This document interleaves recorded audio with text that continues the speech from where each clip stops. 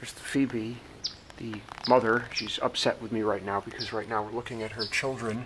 She raises them every year without fail in this same nest under the deck here.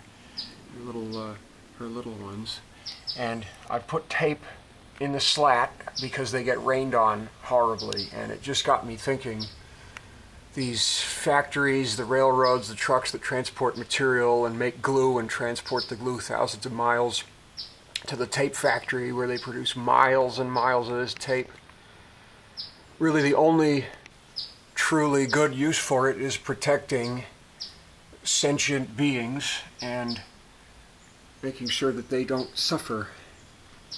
So really that to me is kind of the only justification for industrial society is uh, so that the uh, sentient life that doesn't have any control over what we're doing here is uh, a little bit better off and doesn't have to hurt as much as they would just with nature alone.